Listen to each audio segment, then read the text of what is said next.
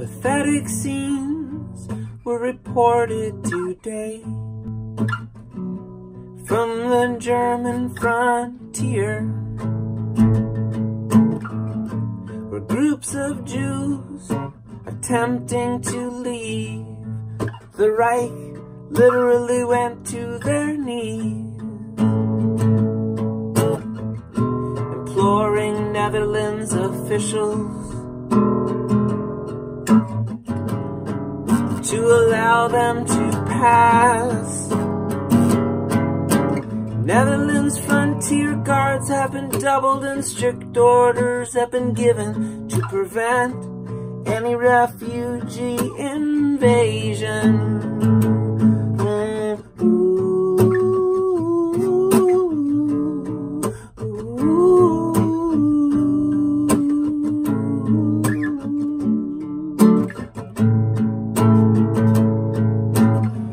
Europe needs to get a handle on migration because that is what lit the flame.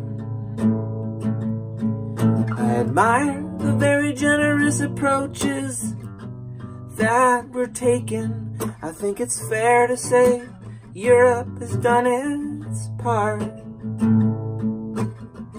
and must send a very clear message. We're no longer able to provide refuge and support. Cause if we don't deal with the migration issue, it will continue to roil the body politic. Mm.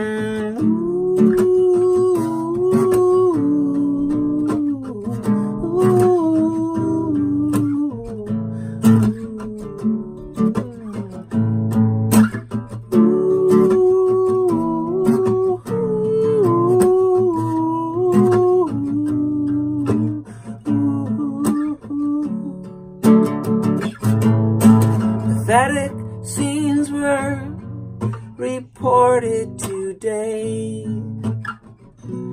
from the German frontier.